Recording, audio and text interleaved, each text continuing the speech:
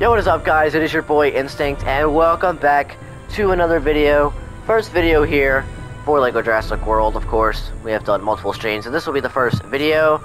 Um, of course, if you are watching this video, you should have hopefully watched um, the uh, LEGO Jurassic World 100% levels 1 through 3 and hopefully you would be referred back to this video at that point and been keeping a lookout. So you might be wondering, why are we in the Lost World section of the Hub World?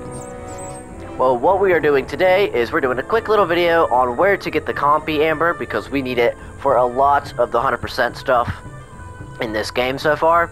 We've done needed it twice and we haven't had it. One including in the second level of Jurassic Park. So what we're going to do is jump into the level that it is in, which is right, should be over here, InGen Arrival. I do not know how we missed this. Um, it's going to be a very quick one to jump into. We're going to jump into Mobile Lab. Uh, we're going to use any sort of character here. It doesn't really matter who we use. Um, it was a very quick amber. I don't know how we missed it. Here's another fascinating. So we're going to quickly just jump in here. We're going to grab it.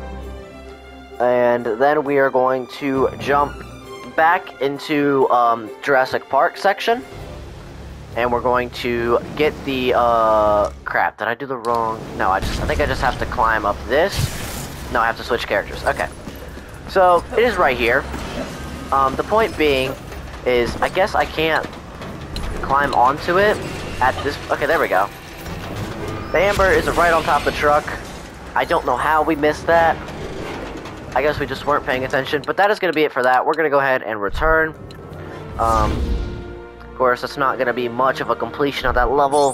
We will, of course, go back when we get to those levels, and we will fully complete that level.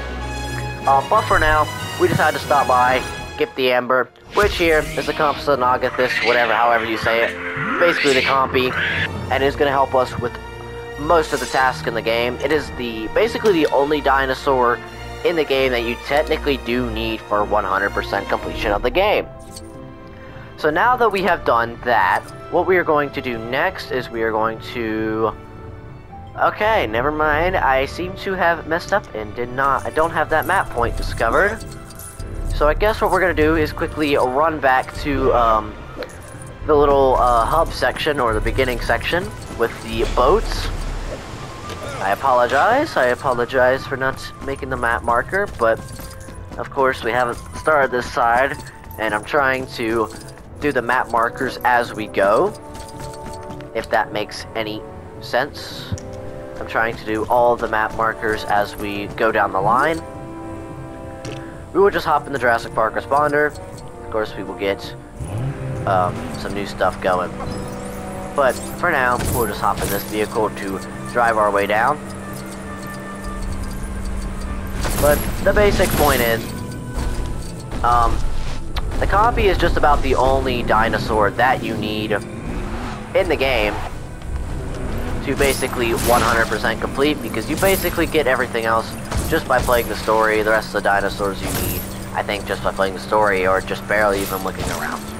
So now what we're going to do is we're going to hit this boat right here to go back to the Jurassic Park section of the hubs. We're going to go to the Jurassic Park hub, and we are going to go back into the second level, we are going to quickly grab that mini kit and then we will leave. You will see the skeleton version of the dinosaur for that mission and we will wrap it up. So we are looking, I think, for this one right here. Welcome to Jurassic Park. We're going to jump into free play. Uh, we're looking for the raptor enclosure and we are going to need our good friend, the Compsognathus thing the only dinosaur who can go through these little tunnels, so that's why we needed You'll to go ahead and get him. Just down there. And I'll be honest with you, I thought he was in the Jurassic World section. Turns out he was in the he was in the Lost World section. So, if we were to, we I guess we wouldn't have had to wait so long, but we still had to wait a long time. Now, if you did watch the stream, you would know we already 100% this level. So all we have to do is go down here, walk right in here, and we have a little puzzle it seems we're going to solve just by pressing a few buttons. And just like so, the mini kit will come out right there, and we can go ahead and collect it. And that is going to wrap up every collectible for this level. We can save and exit. And that is going to wrap up Welcome to Jurassic Park. Once again, I apologize for not getting the compy sooner so that the stream would look pretty clean, but it is okay because I made up for it by making this video. And this is going to come out, I think, right after because I'm going to start uploading this as soon as I'm done. But if you could tell, it's going to show up here in a minute. But if you could tell before, of course, okay, maybe it's not. We do get a gold brick for mini kit, but if you could tell, it was of course the skeleton version of the Triceratops. Um, I don't know why it didn't show up, that it unlocked, but that is going to be it for this video. I hope you guys did enjoy. Of course, uh, thank you all for watching.